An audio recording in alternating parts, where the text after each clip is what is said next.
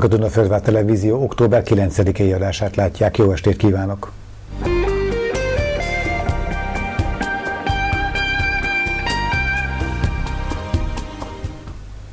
Földvár mozaikunk ma esti témái a következők lesznek. Október 6 alkalmában 1848-as hős sírjánál tartottak megemlékezést. Október 6, 2001 óta hivatalos nemzeti gyásznap.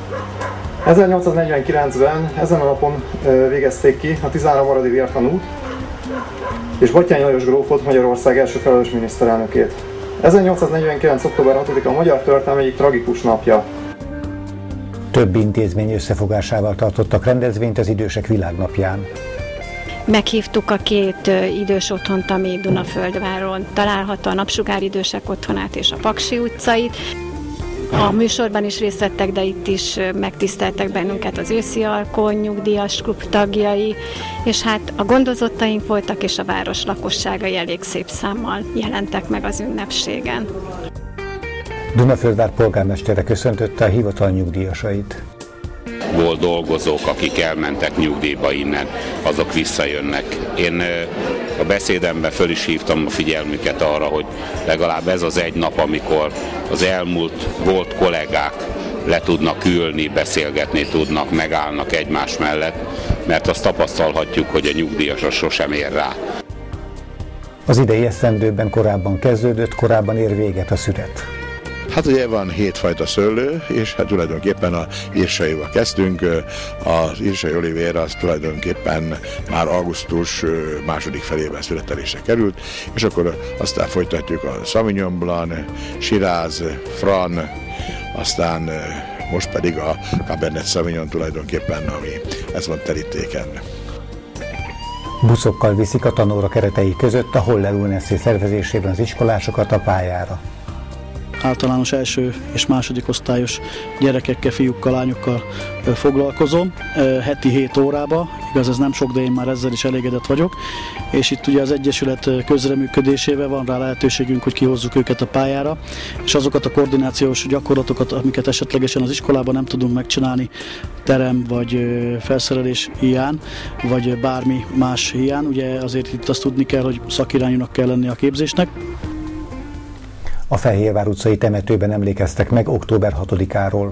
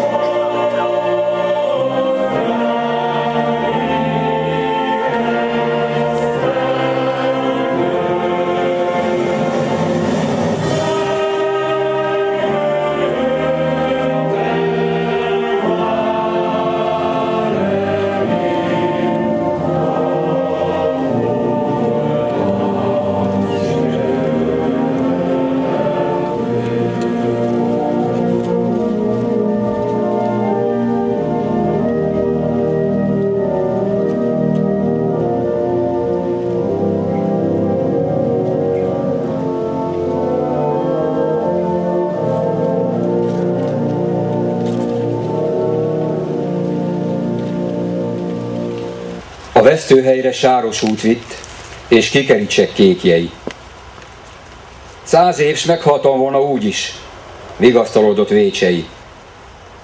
Láner György sírt, s a földre nézett, Damjanics szekéren feküdt. Leiningen felmendő honvédek árnyát kereste mindenütt. És a táj olyan volt, mint a fácán.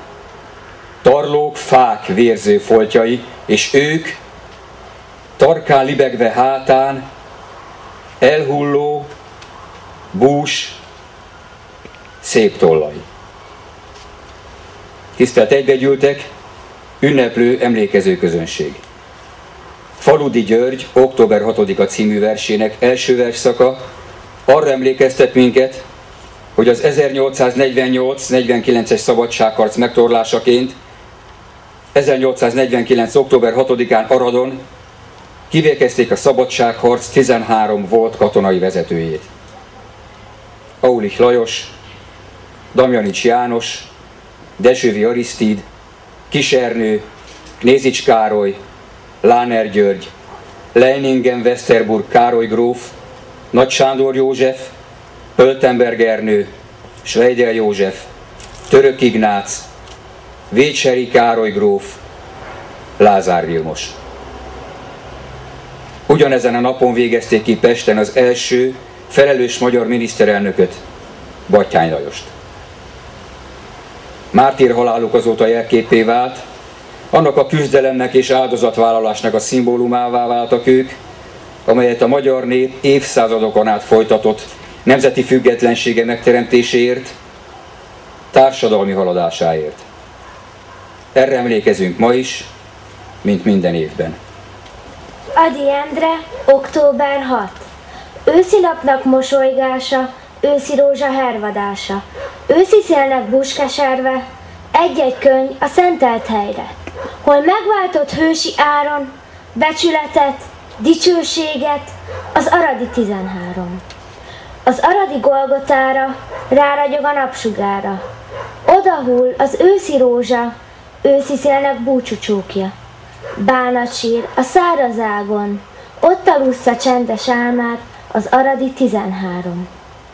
Őszi napnak csendes fénye, tűzre a fényeségre. Buszívünknek enyhe fénye, adjon nyugvást, békességet. Sugáridon szellem járjon, s keressen fel küzdelmünkben az aradi 13. 1849-ben ezen a napon végezték ki a 13 aradi vértanút, és Batyány Lajos grófot Magyarország első felelős miniszterelnökét. 1849. október 6-a a magyar történelem egyik tragikus napja. Mi vezetett idáig? Miért következett be ez a tragédia? Az 1848-49-es magyar szabadságharc egyedülálló volt a korabeli Európában. Ilyen sokáig és ilyen hősiesen egyik nemzet sem tudott harcolni a társadalmi-gazdasági fejlődésért és a függetlenségért az 1840-es évek végén. A győztes tavaszi hadjárat után Ferenc Józsefnek be kellett látnia, hogy Ausztria egyedül nem tudja legyőzni Magyarországot. Segítséget kért Oroszországtól. Így az osztrák-orosz csapatok több mint kétszeres túlerőbe kerültek, és ezzel nyilvánvalóan tisztában volt a magyar katonai vezetés is. Itt szeretnék idézni egy mondást Bertolt Brechttől, aki harcol, az veszíthet. Aki nem harcol, az már vesztett is. Ha ezen elgondolkodunk, akkor rájövünk, hogy mennyire bátrak voltak ezek a 48-as honvédek és tábornokok. Tisztában voltak a túlerővel, mégis vállalták ezt a harcot, akár a haláluk árán is. Sajnos a katonai és politikai vezetés nézetkülönbségei miatt nem sikerült jó haditervet kovácsolni, ezen okok vezettek el a vereségig. Végül a kormány és Kossuth átadta a hatalmat Görgeinek, aki 1849. augusztus 13-án világosnál tette le a fegyvert az orosz csapatok előtt. Nem vállalta a felesleges vérontást. Szándékosan az oroszok előtt tette le a fegyvert, jelezve, hogy orosz segítséggel győzték le a szabadságharcunkat. A vész kitört. Vérfagylaló keze emberfejekkel labdázott az égre. Ember szívekben dúltak lábai. Lélegzetétől meghervadt az élet. A szellemek világa kialudt. S az elsötétült égnek arcain vad fényjel a villámok rajzolák le az ellenséges Istenek haragját. És folyton folyvást ordított a vész, mint egy veszetté bőszült szörnyeteg. Amerre járt, írtóztató nyomában szétszaggatott népeknek átkai sóhajtanak fel, csonthalmok közül. És a nyomor gyámoltalan fejét elhamvadt városokra fekteti. Most tél van, és csend, és hó, és halál. Svejdel, Kis, Dezsőfi, Lázár, Pöltenberg, Török, Knézics, Láner, Leiningen, Nagy Sándor, Aulich, Damjanics, Vécsei.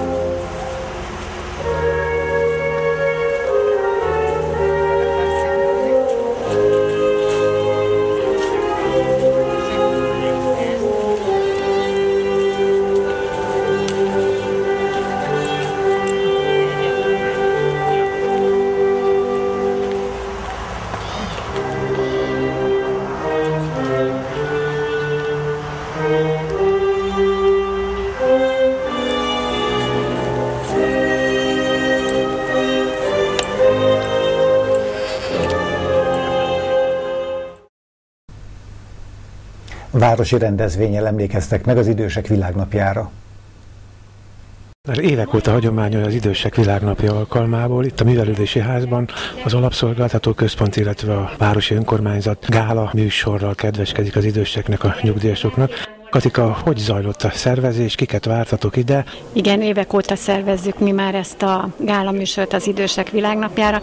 Egyrészt ugye azért, mert hogy a mi gondozottaink nagy része az idős korosztályból kerül ki, úgyhogy elsősorban őket hívtuk meg, de természetesen nem feledkeztünk el a város lakóiról is. Hirdetések útján a tévében is hirdettük, meghívtuk a két idős otthont, ami Dunaföldváron található, a Napsugár idősek otthonát és a Paks Rákosi utcait. A műsorban is részt vettek, de itt is megtiszteltek bennünket az őszi alkony, nyugdíjas klub tagjai, és hát a gondozottaink voltak, és a város lakosságai elég szép számmal jelentek meg az ünnepségen. Miből állt a műsorra, mint látom, itt főleg iskolás diákok szerepeltek?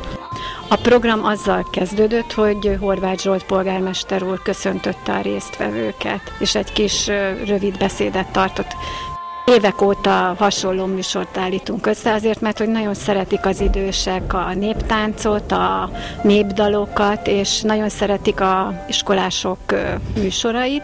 Ezért most is a hagyományosnak híven a Levendula alapfokú művészeti iskola, a Beszédes József általános iskola diákjai léptek föl, a gimnázium tanulói énekeltek népdalcsokrot, majd a legvégén nagy siker volt tavaly is a Nóta csokor, amit külső előadó adott elő.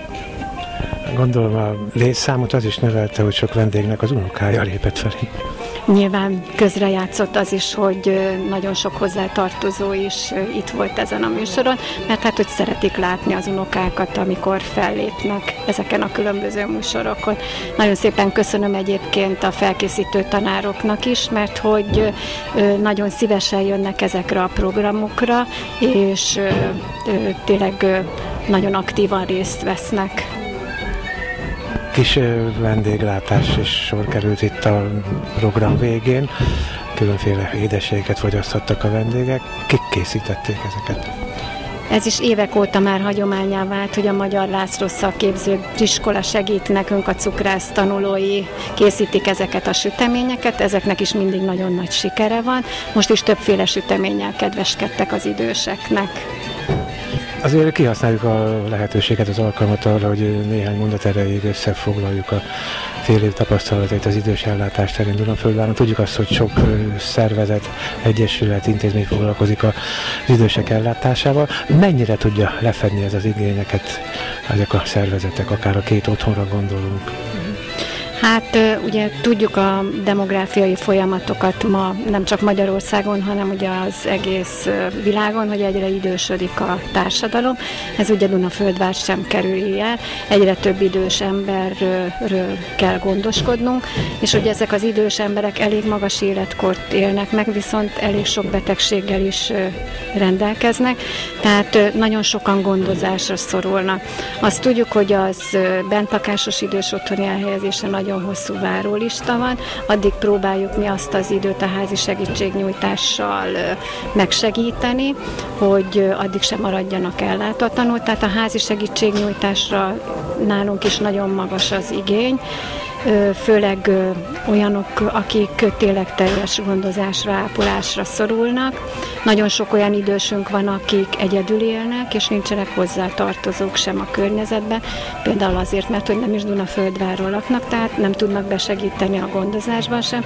Ilyenkor teljes mértékben ránk marad az idős ember ellátása.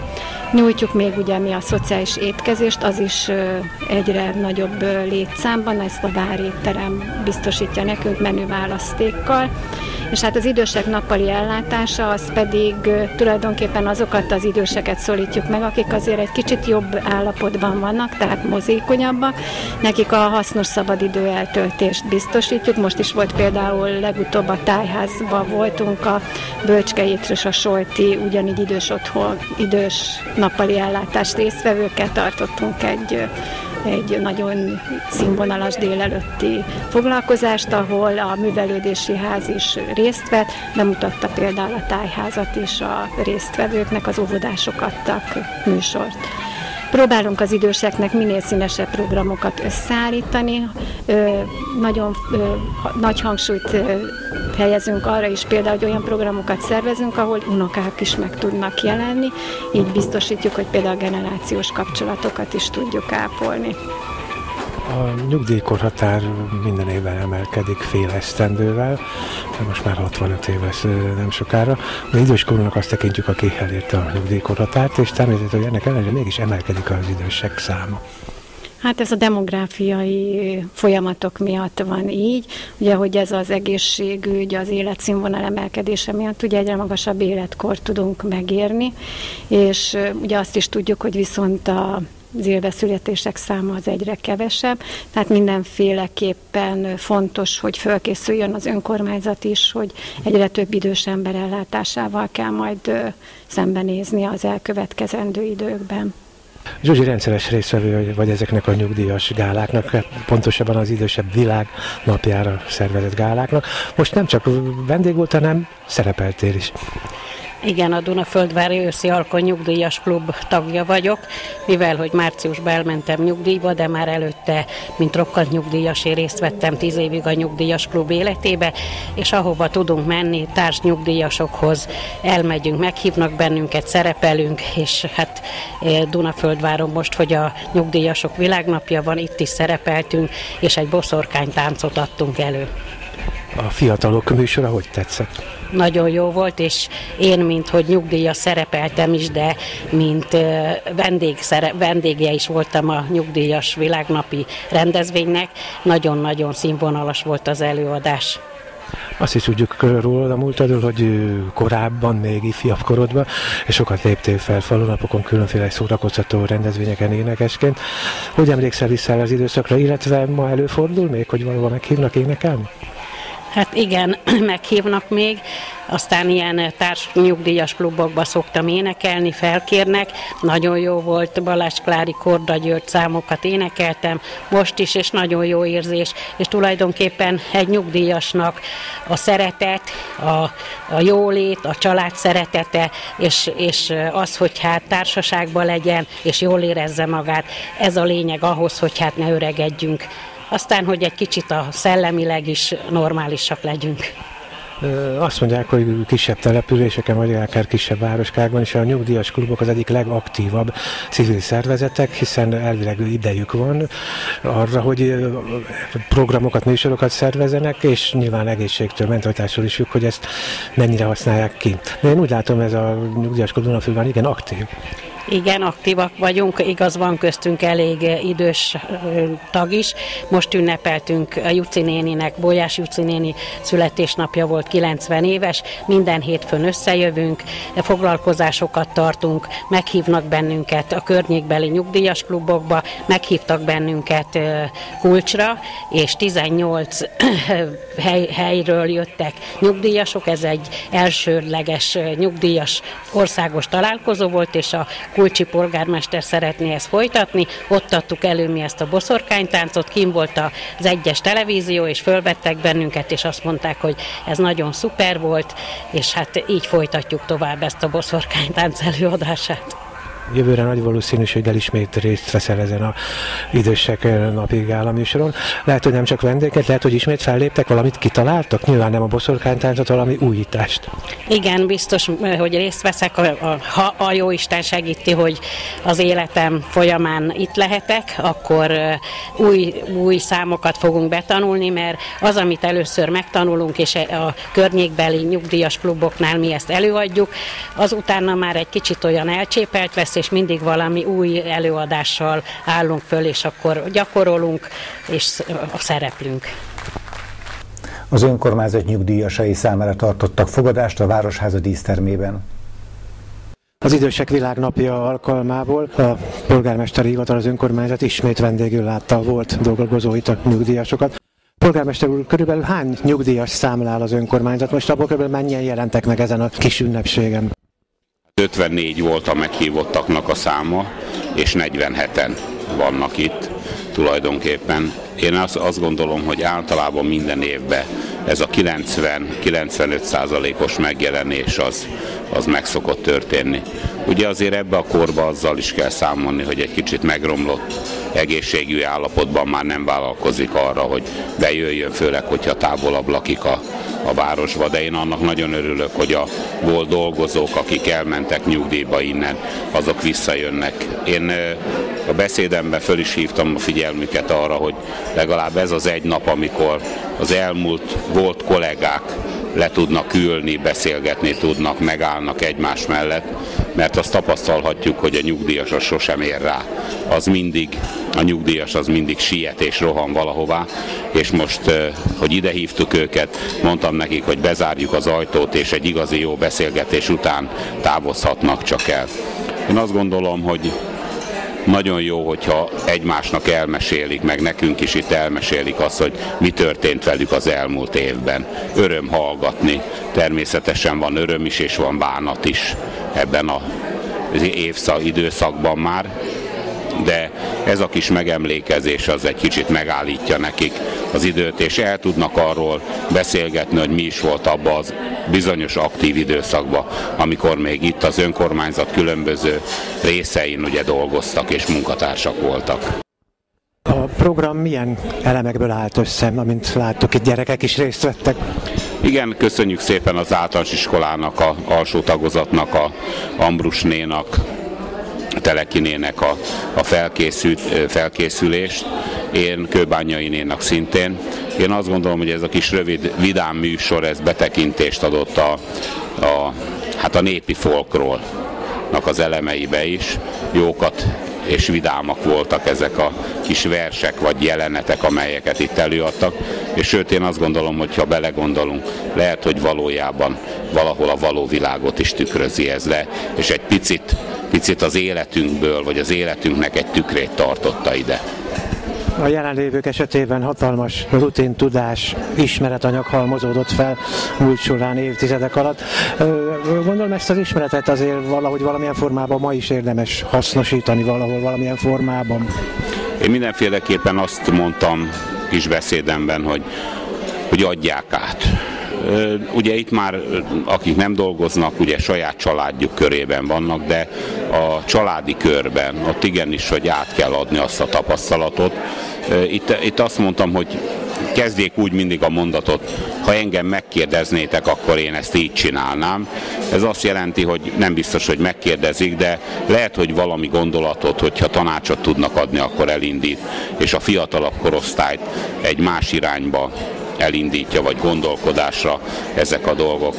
Meg kell hallgatni az öregeket. Természetesen ugye most ma már azt kell mondanunk, hogy akkora a szakadék az elkövetkezendő nemzedékek között, ugye ez az információs, ugye IT technológiai fejlődés, ugye teljesen más, más mint a én közöttem és a szüleim között volt, az valahogy közelebb volt, ma meg már ez ugye nehezebb. De ettől függetlenül az élettapasztalatot a semmilyen IT technológia nem fogja helyettesíteni, és a, a szerető szavat, az azt megterített asztalt és a családi boldogságot, azt a soha semmilyen technikával, technológiával nem fogjuk helyettesíteni, hanem ott le kell menni, át kell élnünk, oda kell menni, egymással kell beszélgetni, és el kell fogadni egymás véleményét, vagy legalábbis meg kell hallgatni. Az önkormányzati munka szinte évről évre változik, reformálják rendszeresen, elég az aktív dolgozóknak, mint például a polgármesternek követnie. Nyugdíjasok mennyire tudják követni ezeket a változásokat, vagy érdeklődnek egyáltalán az iránt, hogy mennyit változott itt sok minden? Természetesen érdeklődnek iránta. Most a leg, legegyszerűbb dolog, hogyha a pénzügyi vezetővel most beszélnénk, Verával, és a mostani is, amikor ő elment nyugdíjba, és a mostani rendszert raknánk össze ebbe az egészbe, akkor ég föld lenne ez az egész ügylet. Nem tudom. Tehát tehát akkora nagy a fejlődés, olyan gyorsan változnak jogszabályi hátterek is, illetve IT technológia hozzá, támogató szoftverek, minden, hogy elég lekövetni az a, azoknak a dolgozóknak is, akik itt vannak minden nap és ezekkel szembesülnek. Margó a legfiatalabb nyugdíjasok közé tartozik itt ezen a rendezvényen. Ha jól tudom, néhány hónapja mentél nyugdíjba. Mikor pontosan? Egészen pontosan ma három hónapja. Hogy telt ez a három hónap? Mik az első benyomások, tapasztalatok? Hiányzik a régi munkahely, a közösség? Ha rövid akarok lenni, akkor azt kell mondanom, hogy nagyon gyorsan telt, és az, hogy hiányzik a közösség, az szerintem természetes. De leköt a család, az unokák. Így van, igen, igen, abszolút. Több évtizedet töltöttél el Dunaföldváron védőnőként. Hát az egészségügy is nagyon sokat változott évtizedek alatt. Hogy emlékszel vissza a kezdetekre, illetve napjainkra?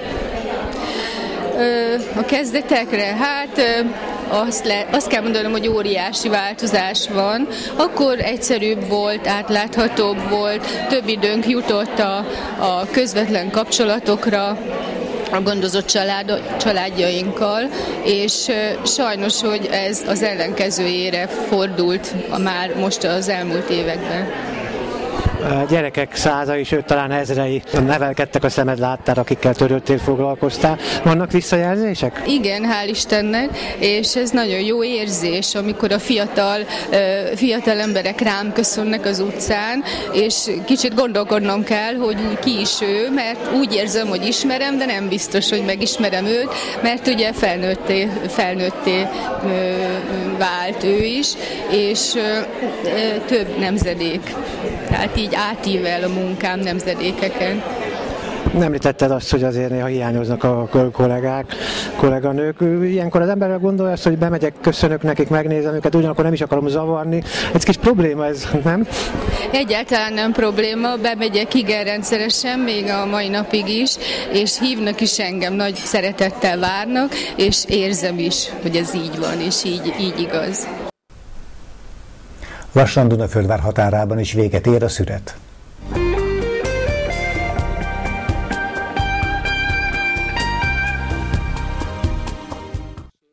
Országszerte korábban kezdődtek a születek, több helyen már augusztusban elkezdték, ennek gondolom klimatikus éghajlati okai vannak. Igen, a, a, ez idei évjárat az nagyon meleg évjárat volt, szület, szőlő szempontjából és gyümölcs szempontjából is, de az egyéb szántóföld növények szempontjából is, és tulajdonképpen így aztán mindent egy kicsit előbbre nyújtott, előbbre hozott, így a, akár a szántóföld növényeknek betakarítását is, de ugyanígy a szőlő gyümölcs is minden előbbre került. Azt tudjuk, hogy itt az ültetvényeden több fajta szőlő található. Ez nyilván azt jelenti, hogy a születés ciklikus, van, amit korábban van, amit később kell kezdeni. Hogy zajlott nálatok a szület, milyen ciklusokban, milyen időintervallumokban? Hát ugye van hét fajta szőlő, és hát tulajdonképpen a írsaival kezdtünk. Az írsai olivér az tulajdonképpen már augusztus második felében születelésre került, és akkor aztán folytatjuk a Sauvignon Blanc, Shiraz, Fran, aztán most pedig a Cabernet Sauvignon tulajdonképpen, ami ez van terítéken. Tehát ez a fajta az utolsó, így október tájékán? Igen, igen, ezt uh, már Otello uh, volt előtte, és tulajdonképpen ez az utolsó, most már uh, úgy néz ki, hogy nagyon jó a cukorfoka, és a savfoka már kezd lefelé menni, úgyhogy úgy döntöttünk, hogy most már le kell szedni. A jóbor egyik alapvető háttere, hogy pontosan időben leszedjük a szőlőt? Igen, az is fontos, tehát az időbeli szedés. Azon kívül az ember figyeli, hogy kártevők, károsítók jelentkeznek-e, tehát azok is. Most már, ugye, mivel a cukorfok fönt van, a darazsok megjelentek, és ennek következtében bizony a mind, mind kóstogatták, úgyhogy tulajdonképpen azt, azt láttuk, hogy itt az ideje most már le kell szedni. Nyárnak voltak olyan szőlőbetegségek, amik elterjedtek országszerte, vagy esetleg regionálisan? Hát itt tulajdonképpen nagy betegségek nem voltak. A lisztarmat azért az, az, az előjött, ugye meleg hatására, időnként tehát kellett permetezni, kellett védekezni. Aztán a legvégén egy kicsit a szürke rothadást is azért megcéloztuk, hogy nehogy gond legyen, mert volt egy, egy nagy eső, egy 75 mm eső, ugye hirtelében, és akkor azt gondoltuk, hogy, hogy azért jó lesz itt védekezni a rothadás ellen is, mert gyakorlatilag nehogy nagyobb kár legyen gazdák, így a szőlős gazdák is a, a bor minőségét kritizálják, általában rögtön az időjárásra fogják, azért, mert sok eső esett, azért, mert kevés, azért, mert nagyon meleg volt. Nem tudom, az idei nyár vagy arányosan oszlott el, meleg is volt, ugyanakkor eső is esett, hogy október térünk, és zöld a természet. Igen, én is azt mondom, hogy nem volt ez egy rossz évjárat. Ugye már a szántóvő növényeknél volt olyan, amikor már kritikus volt, a határon volt a, a növény, de a szőlőgyümölcsnél azért tehát ilyen probléma nem volt, úgyhogy én azt mondom, hogy megkapták a meleget is kellőképpen, azért volt egy kis csapadék, és meleget is megkapták, és ez nagyon jó volt a 17-es évjárat. Én azt mondom, hogy nem, bizt, nem lehetünk messze tőle, tehát hasonló évjáratnak kellene 18-asnak is.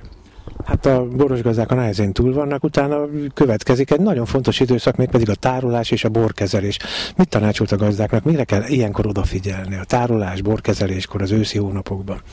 Hát mindenképpen ugye a, a, a szüret, a szüretnek a, tulajdonképpen a munkái otthon, ugye a darálások, és akkor utána az erjesztések, ugye itt a megfelelő kezelések, már is ugye a gomba és egyéb ö, szerekkel tulajdonképpen, és ugye itt ö, a Cabernet Sauvignonnál, itt a vörösszőlőnél, az, hogy legyen meg a megfelelő színe, tehát tulajdonképpen az, hogy bizonyos ideig a kádban tároljuk gyakorlatilag, amíg ugye a szőlőszemek le nem süllyednek, és utána következik majd a préselés, hogy szinte minden anyag kitermelődjön, ki e, oldódjon a, a bőr alól gyakorlatilag, és akkor utána majd a már a hordóba kerül, ugye, ott pedig hát aztán majd a, a, először egy ilyen ülepítés, és utána pedig majd a megfelelő ö, ö, erjesztés, egy erjesztés, tulajdonképpen utóerjesztés, ha van, és akkor a, a, már a, a bor készítés gyakorlatilag a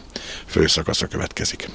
Hát a bor igazi minősítése, értékelése általában a téli időszakra, a koratavaszra tehető borversenyek, szakmai zsűrik. Nyilván a gazda a saját borát dicséri, hogy nagyon finom, de igazán a dicsérő szavakat a zsűrik szokták kimondani. Te rendszeresen részt veszel borversenyeken, megméreteted italaidat, amint tudjuk sok versenyeredményed van, gondolom idén sem kell félni ezektől a versenyektől, garantált az, hogy a sok jó minőségű borot közül valamelyik kiemelkedő helyezéseket érhet el borversenyeken. Bízunk benne, hogy így lesz, tehát meg szoktam méretni általában, és hát az öme azért az aranyérmeket általában megkapja. A Cabernet Sauvignonban nagyon bízok, a 17-esben is még, ugye, mert gyakorlatilag két éves a, az érése a Cabernet Sauvignonnak, már tavaly is, tavaly is volt rossz a 17-es igazából, de mm, most még jobbnak kell lenni, bízok benne, egy országos borversenyen már előkelő helyet fog elérni. Odahaza, te mikor szoktad először megkóstolni úgy a bort, hogy már konkrétan minősíteni is lehet ez november, december környéke? Hát december, január általában a, a, a korai születéseket az nyilvánvalóan október, novemberben már megkóstoljuk, hogy írsait és a Sauvignon Blanc, ezeket gyakorlatilag és utána a későket pedig már ugye következik egy fejtés, valamikor december végén, januárban Cabernet Sauvignonnál, és utána azt megnézzük, hogy milyen, gyakorlatilag még mit kell vele tenni, és hát hogy kezdje a következő évet. A tanóra keretei között tart foglalkozásokat a Holler UNFC.